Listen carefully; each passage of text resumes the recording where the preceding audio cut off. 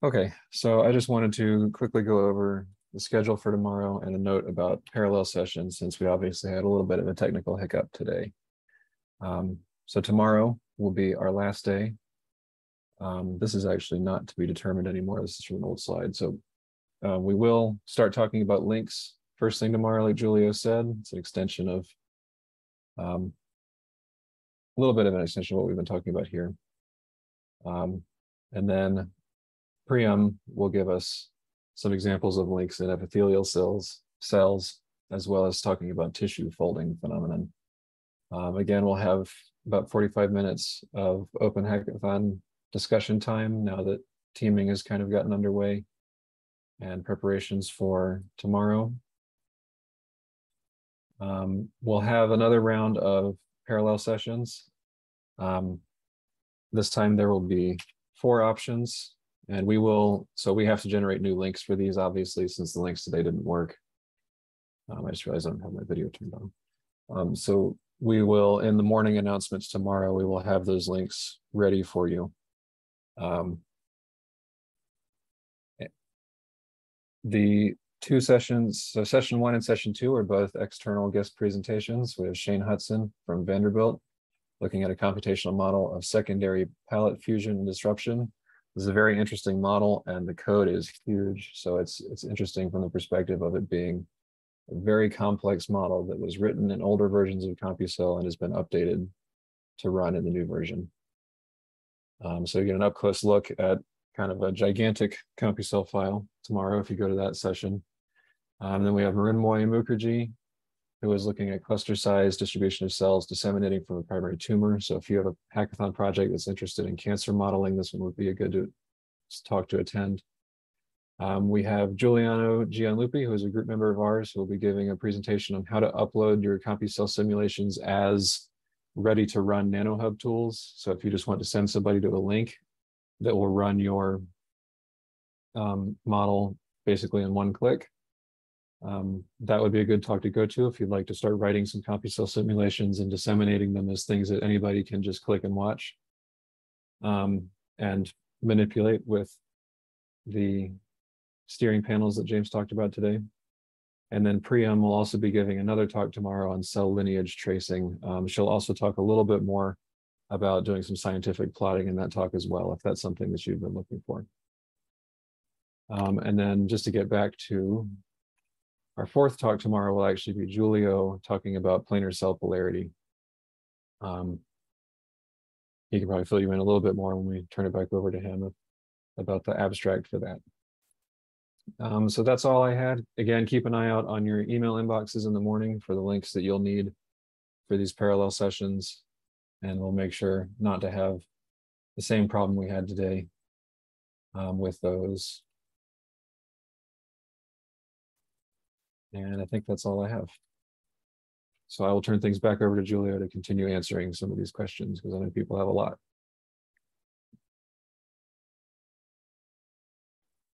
So thank you all. If you don't have any questions, you're free to go and we will see you Bharat tomorrow. has a question. Bharat has a question.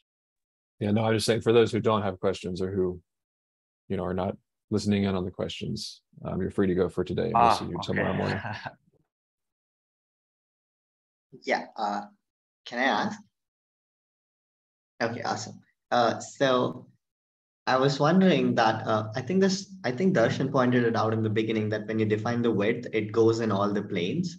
So if I'm like that, the cell is gonna be a, a square or or a cube, but if I have a 3D model and have my cells on top of something, then um, I want it to I want it to be more spread on X and Y than my Z, because uh, that's how generally uh, in vitro cells behave.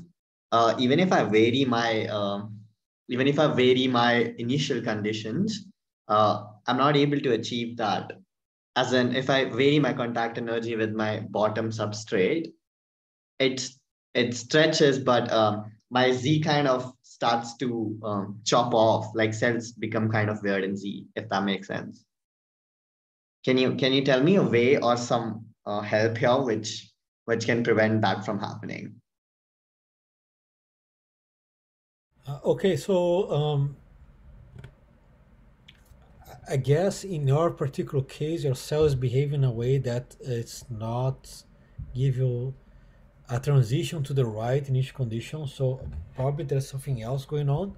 But I'll, I'll tell another way that you can um, uh, write in each condition. So once you can use the uniform initializer and you can also use the blob initializer, okay? If you want to do something very specific, okay, if you basically want to draw the cell at specific uh, coordinate points, there is a way to do that from the Python level. Okay, so uh, you can, let me just, uh, I'll be, let me just uh, share my screen here to show to you very quickly how this is done. And I'm not sure that this had already been covered before, but I'll just use the uh, the, the code that we were working before, okay? So here on the start function, for example, you want to draw a cell at specific co coordinate points, you can use the the actually it's better if I share my uh, desktop. Okay. Can you see my desktop now? Yeah. Okay, so if you go to so I'm in the start function because that's where usually when you want to set up your initial conditions. Right. So right. If you go to Concept 3D Python, cell attributes, um, no cell manipulation. Sorry, there is a create cell option. Uh-huh. Create cell detailed option. Okay. So you can click that and then you can see that there is an option to actually draw a cell directly on the lattice. Great. So you basically need those two comments here, right? Uh, right. You first you create a cell object, okay, and then you just set the type of the cell. Uh, so uh, it can be of type uh, ECM, for example. So yeah. this creates a cell object, but the cell does not exist in space. Okay. So and then on line 19, you can actually um, draw the cell uh, you, you can make a square of the cell. So right. make it at, I don't know, so it would be X, Y, and Z, of course. And what you can do here is you can do uh, at uh, coordinate, I don't know, X from 10 to... And, and this will allow me to change the shape to a rectangle or a cuboid, right? It won't Yes, stay yeah. cube. Because then Yeah. on the X can be from 10 to 20, right? Right. But and it can be Y different. can be from, uh, I don't know, um, uh, 60 to uh, 63, right? So Right, between, it. And then and then and then very long on the on the X, right? And if of course this al- just allowed to draw a, a re- um, parallel. Okay, I do not know the name of, of the object in, in- in English, but a square in 3D that has different lengths. Okay. Yeah, yeah, got it. Uh, Rectangle. Rectangle. now rectangle is 2D. Uh, In 3D, there's another name. Cuboid, cuboid. Yeah, cuboid. Exactly. Okay. Uh, in Portuguese, is very different. Uh, so Yeah, I got that. do this from the cell, but if you don't want to do a cuboid, you want to do more complex, you can just make this call.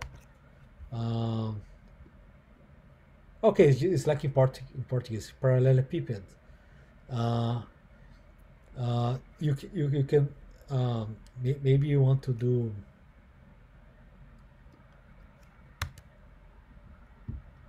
Mm, like uh, another another layer on top that's a little bit thinner. Okay. Uh, Okay. yeah. So, Uh, I can put this inside a for loop and then maybe make these position multiple of some numbers so that I can have many cells, right? yes, I believe that's can- how I'm gonna create a layout. yes. Yes. Okay, okay. The other thing you can do, you can do a loop over uh, visit uh, all Let- yeah, yeah. right? That makes and then sense. You check some condition if it be, is within these and these, these boundaries, or Mhm. is it within this distance from this uh, center of mass here. So you can use that to write actually draw a cell that's kind of circular, for example, Yeah, that makes sense. and So you, you can use that. Well, with this, you can draw whatever you want. Okay. Uh, this comment here does not be a range. It can be, if you just do, for example, four, seven, and nine, you draw. Uh, you, you can write one pixel at, at a time. Okay. So. So okay, you got what I, I want to say. Yeah, yeah, I got it. Yeah. you can thanks a draw by hand. Okay. Yes, yes. I can play around with that. That makes sense. take some time okay but once once you one thing that you can also do you can use uh, pif files okay initial condition python uh, pixel initial condition files format to also once you write your initial condition you don't have to do this again you can start simulation by just calling a file that has the all the The values, the latest Okay. value. yes the latest values Okay. Thank you. okay Thanks, Julio. no problem What what I do in the for loop when I draw my cells, basically when you when you loop over all coordinates, you can uh, build any shape you like. Uh, if you can translate the shapes into mathematical uh, formulas. Yeah. So you can build uh, paraboloids, uh, circles, spheres, uh, ellipsoids, everything using uh, conditions. Mhm. Yeah, that makes sense. I will implement this. This should work. Thank you. Welcome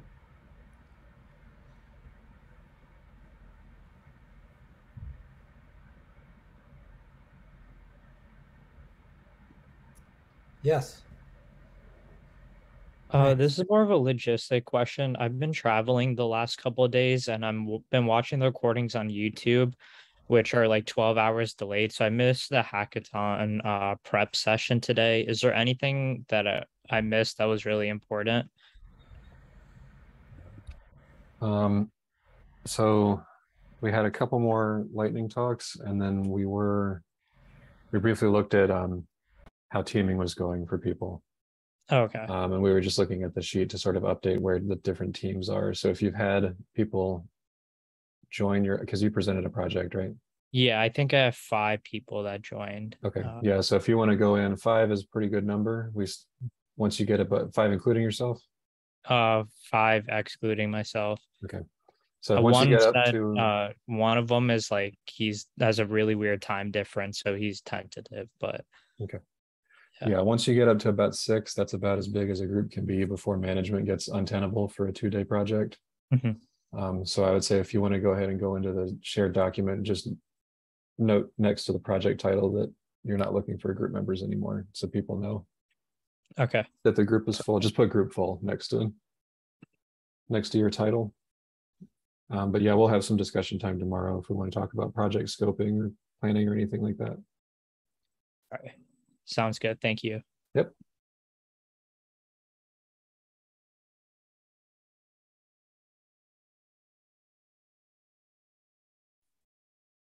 So any other questions about anything Julio presented or course logistics or hackathon or scientific philosophy like yesterday, anything?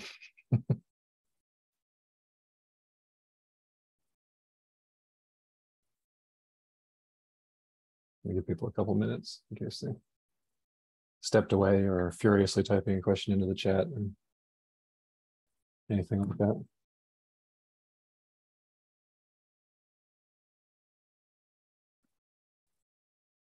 I know that's the worst when you've been like typing a question in the chat for a while, and then the instructor starts to go like, well, if there's no more questions, and you're like, oh. So always feel free if we if we're about to move on and you're trying to finish a chat question, always feel free to unmute and just tell us to hold on a second so you can you can finish typing before we, you know, end the meeting. Um, just on what I was um, put in the chat before, um, I do often get that the cell nucleus just disappears. Is the best way to handle that just to play around with your energy, um, your different energy terms? Just to try prevent that happening? Yeah, that would be one way to do it. Uh, do you want like to share your screen and show? no. you, uh, what's- Normally, increasing lambda volume is the thing that you need to do. Okay. Because if the, if the cell is compressed, is, is collapsing, that means that the surface energy is large compared to the volume energy. So if you increase lambda volume, that will balance it. If you increase Okay, lambda so- volume too much, the cell will stop moving. But there should be a pretty good sweet spot of a factor of five or so over which the cell will move fine and it won't collapse. But, but why don't you show us and we could actually do that together? That's a good, that's a good learning experience, actually. If you're Um, willing to screen share it, we'd be happy to look. yeah, sure can.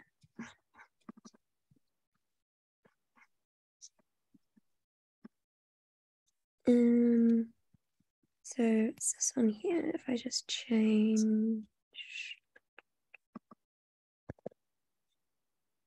I'll put it back to what it was just to show you. Um, so it's initializing like this, and then the nucleus just disappears pretty quickly. Um, oh, yep, and easy. Yeah, I do find when adding in a value, oh, I'm not sure if that's actually even relevant anymore. Um, but when adding in a value for this, it also tends to um make the nucleus disappear. So yeah, there's just a lot of uh, ones to play around with. So, so the smaller the domain, the more likely it is to disappear. And the higher the Okay. surface energy of the domain, the more likely it is to disappear. Um, but in general, the one thing that CompuCell might be, should do that it doesn't is give you the typical energies for each of the terms in your plugins. Um, but you need, so you need to balance those a bit by hand. But if, a- if a domain disappears, then that almost certainly means lambda volume for that domain is too small. And you shouldn't have to push it up by a lot. Uh, you could try pushing it up by a factor of five. If it freezes, then you're too high. Uh, and so there should, but there should be a region of, of at least a couple of, uh, factors of two uh, over which it's motile and it doesn't disappear.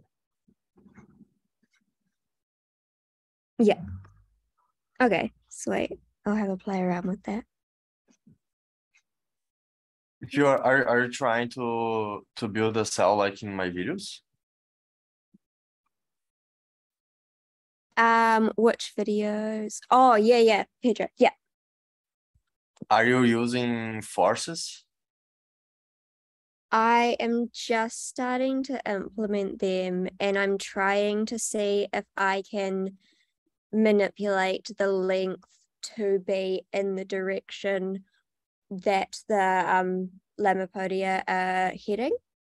So that elongates in that direction. So you're using external potential. Yes. Okay, I, I don't use external potential. Okay. It's more interesting and the cell moves uh faster as well. What do you use instead? I use uh internal field for lamellipodium. Okay. Uh, do you want to see? Yes, please. That would be amazing. Okay. So I will first.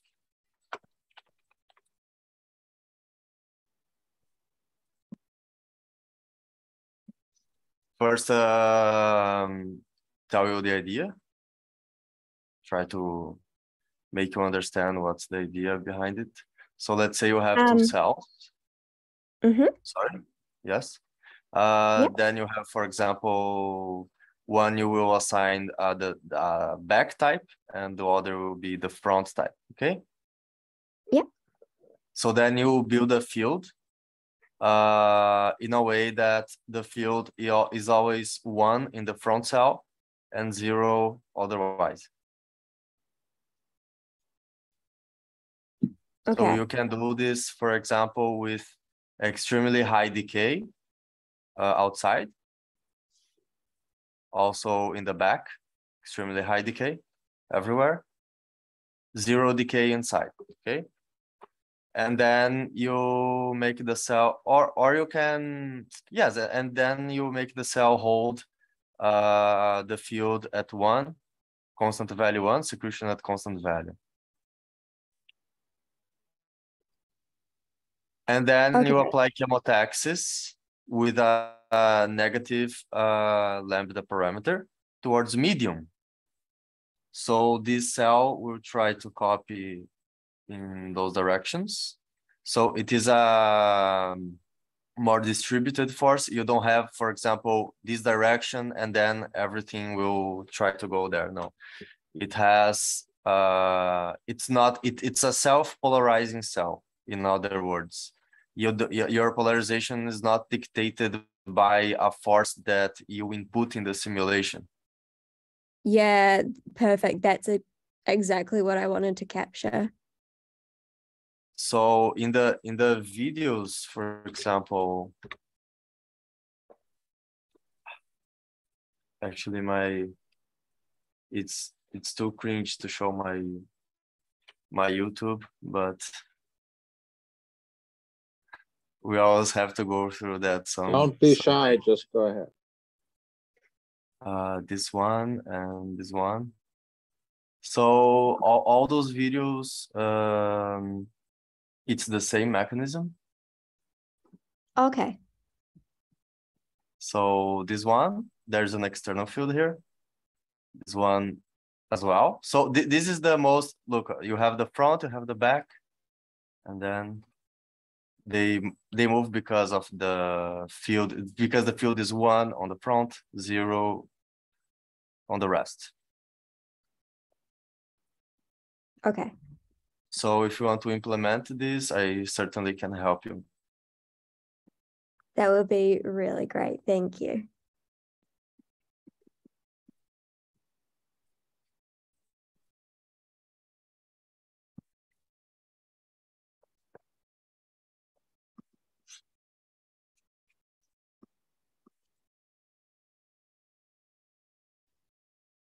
Just wanted to make a quick note. I guess Max already left, but you know, when you're looking for the videos, the auto uploaded live streams that go up right after the sessions, you have to click on James's video page.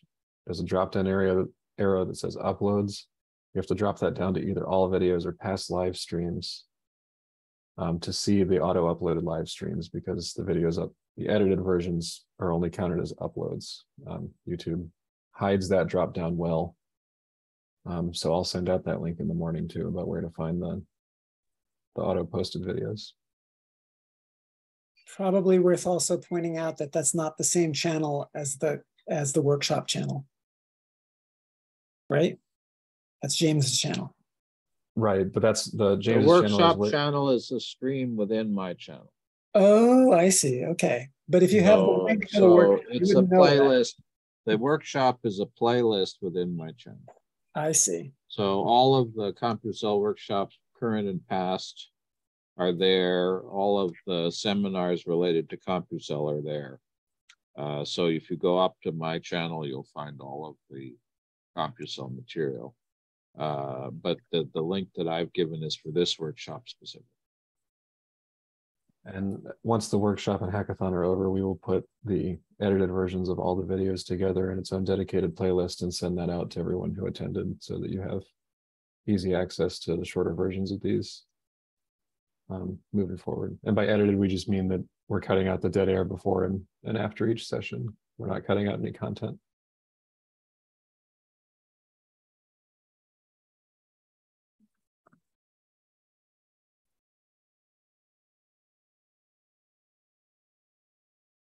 Any other questions?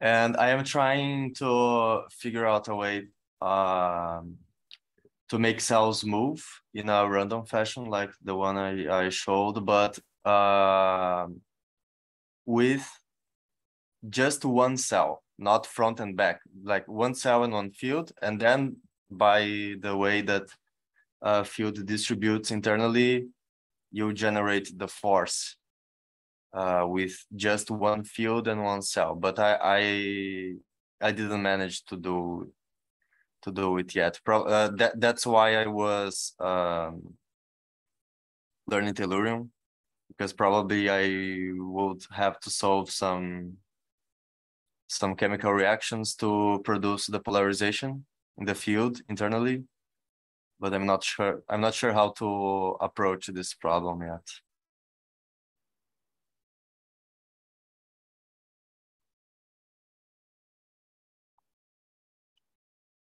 Um, I'd be quite interested to work with you on that, Pedro. Uh, so if you have time now, we can.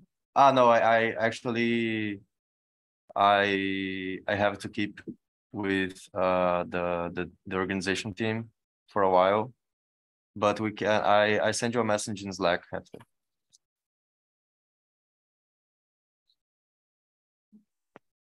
And then we can meet uh in Google Meet, for example. And then I show Yeah. you how to do it. Awesome. Sounds good. And I gave links to all of these other social media. I realize everything gets distributed, but we do have this Facebook, LinkedIn, uh, Twitter accounts, which people can use to communicate. Uh, the Slack may be uh, more effective, but uh, potentially you could find uh, community people to help uh, through these other ways too.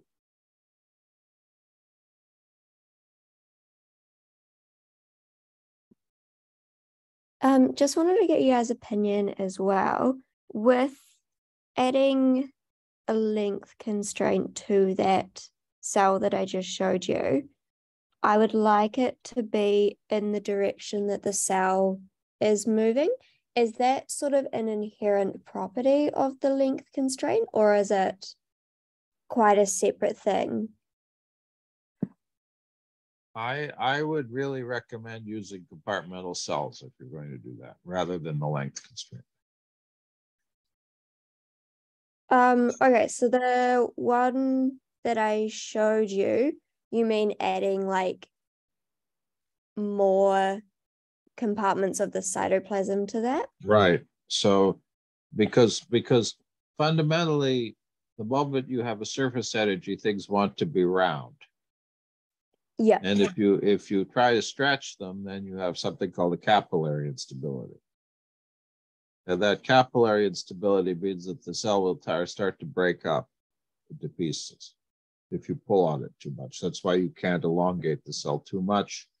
Uh, Yeah. in simulations that that did that, which we did, for example, with and there's an option in CompuCell which is connectivity constraint that you can turn on. There's a 2D fast connectivity constraint. There's a 3D connectivity constraint.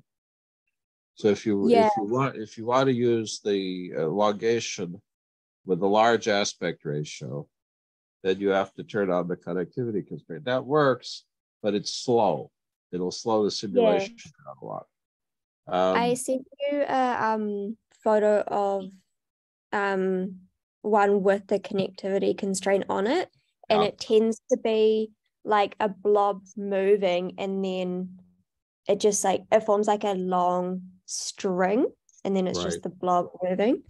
yeah That Yeah, that's it's the very same ugly. capillary instability that you're going to get. Um, Yeah. and so if you if you use multiple subdomains, then that's what I think uh, Julio showed. Uh, you could string subdomains together to make arbitrarily long objects, and then each subdomain doesn't have such a big uh, difference in curvature between the top and the bottom side, the tops and the edges. And in that case, you don't have the energy problems that you have.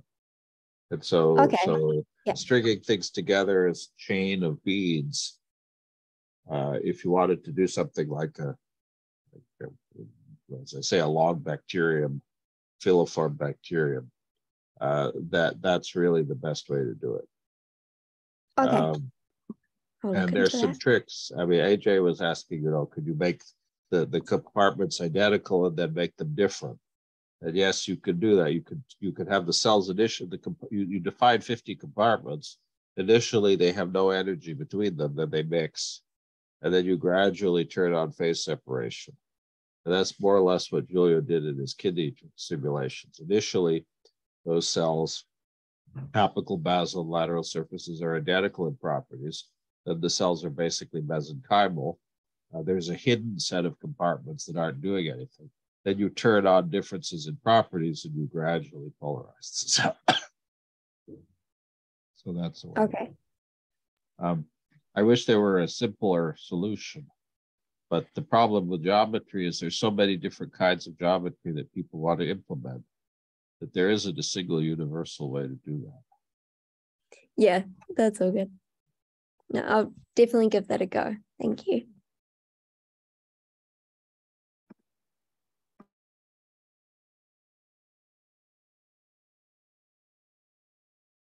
Any other questions or comments? I have a question. Is it possible to uh to define, for example, uh uh I, an energy relative to torque between successive links? You So what I that's mean? supposed to be implemented in CompuCell. I don't know if it's still there. There's a bending module. Yeah, I don't know whether it works. Okay, I I never tried, but it is uh it seems to be useful if you are trying, for example, to model invagination. Yes, it's very helpful. So if you want to check that, that would be great. Creating a demo. Uh, if you could recreate Andreas Deutsch's old demo of the bacterial move, movement, uh, that would be ideal. If it doesn't work, we need to know it and fix it. And Liliana could try because Liliana is trying to do that uh that invagination simulation. She Yeah. could try, I could help her as well. But there, there, there is a bending modulus. It's a little tricky. Defining the bending modulus is actually reasonably complicated. The way to specify it, but, but, uh, I don't know that. uh, If it's not there, it's easy to write the plugin to do it. So we should make sure that that's there.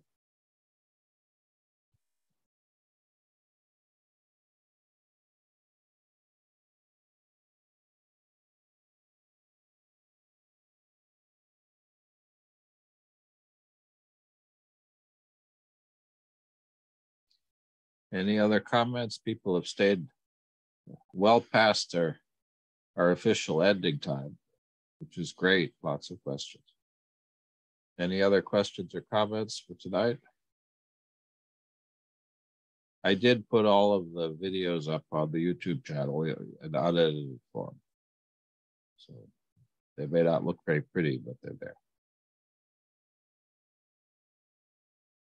Okay, well, I'd, I'd like to thank everybody. Maybe our team could join me in my regular Zoom room for a minute and we can uh, plan a little bit for tomorrow.